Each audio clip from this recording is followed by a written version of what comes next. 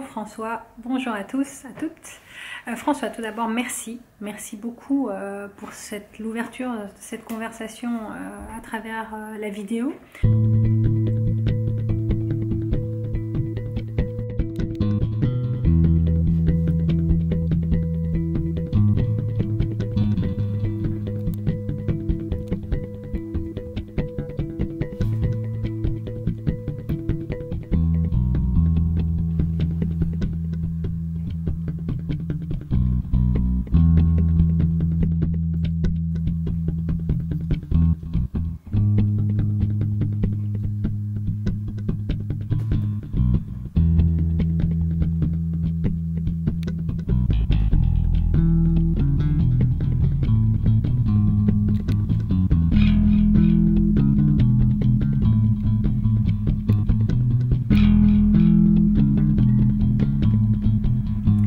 La raison pour laquelle j'aime beaucoup ces objets, euh, d'abord quand je les ai trouvés, quand j'étais sur le, je me baladais sur le marché, j'ai vu ces petites boîtes, j'ai dit ah chouette parce que comme je vous ai dit, je, collectionne des choses, j'aime bien, tout m'intéresse.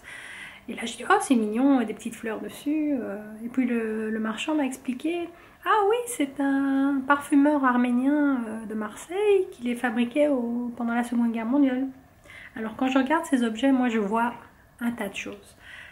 Je pense notamment très fort à Karin Karakashla, qui, qui est euh, écrivaine, poète, nouvelliste, euh, journaliste et chroniqueuse, euh, qui vit à Istanbul et qui est d'origine arménienne. Elle écrit en turc. Et c'est quelqu'un que donc j'ai traduit déjà, ceux d'entre vous qui ont lu Maidan, La Place, l'anthologie, le premier et le deuxième volume. Vous avez dû notamment lire une nouvelle et un poème euh, que j'avais choisi et que, j'ai présenté dans les, deux, volumes de l'anthologie. C'est quelqu'un qui, me touche énormément, c'est une très belle personne. Elle est très méconnue en France, je trouve qu'elle a vraiment sa place euh, dans la littérature en traduction euh, dans, le monde francophone. Et sa poésie surtout, est extrêmement touchante parce que c'est dans sa poésie le plus que l'on ressent cette blessure du peuple arménien. Cette blessure du peuple arménien face au négationnisme, à toutes ces douleurs qui, qui, durent depuis un siècle, le, manque d'empathie euh, de tout un peuple, du peuple turc face, euh, face à leur douleur, face à leur passé, euh, et qui est aussi notre passé. À travers mon travail d'écriture et de traduction, de rappeler cela. Et ces petits, avoir ces petites boîtes chez moi, euh, bon, c'est pas que j'ai besoin d'avoir les petites boîtes pour m'en souvenir, mais le fait d'avoir un objet physique dans ma bibliothèque que je vois tous les jours, que je peux toucher, euh, que je peux même sentir, parce que c'est des boîtes de parfum et elles sentent encore les, les, les fleurs, c'est assez magnifique. Et retrouver cette beauté dans, dans ces objets euh, pleins de douleur, ce sont des sentiments qui, qui, qui, m'intéressent beaucoup et que j'ai envie d'exprimer à travers, euh, à travers l'écriture.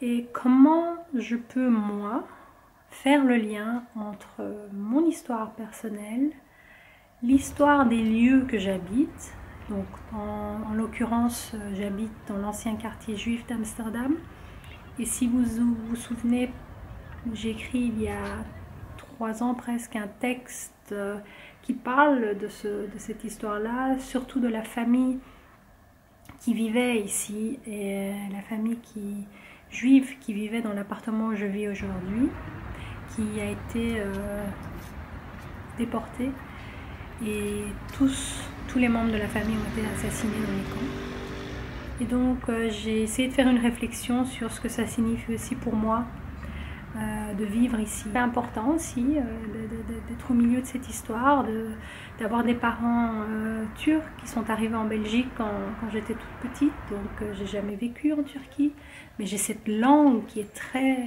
forte, qui prend beaucoup de place dans ma vie. et je parle aussi et j'écris dans différentes langues, donc qu'est-ce que ça signifie pour quelqu'un comme moi d'essayer de faire des liens avec ces morceaux d'histoire et, que, j'habite vraiment, donc physiquement j'habite dedans. Et voilà, donc moi l'aspect visuel est important parce qu'il y a beaucoup beaucoup d'espaces et de lieux euh, à travers... Euh, dans mon quartier ici qui, sont très intéressants à, occuper, à vivre aussi au jour le jour. Et ça éveille beaucoup de sentiments très très forts. Et ensuite, euh, le chez moi, tous ces livres autour de moi et ces, petits objets euh, que je peux toucher, que je peux voir. Qu'est-ce que tout cela euh, peut apporter? Comment est-ce que je peux exprimer cela? À travers la vidéo, l'écriture, la traduction, en utilisant justement la voix des autres aussi, comme Karine qui, qui, qui fait ça beaucoup mieux que moi. Donc pour moi, c'est un, honneur et un bonheur de pouvoir traduire une auteure comme elle. Donc voilà, c'est un, un peu une, une, question en même temps que je me pose à moi, mais que je pose aussi à, toi François et à tous ceux qui, qui, suivent euh, tes vidéos chaque jour. Merci, merci François et merci à vous tous euh, d'avoir écouté jusqu'au bout.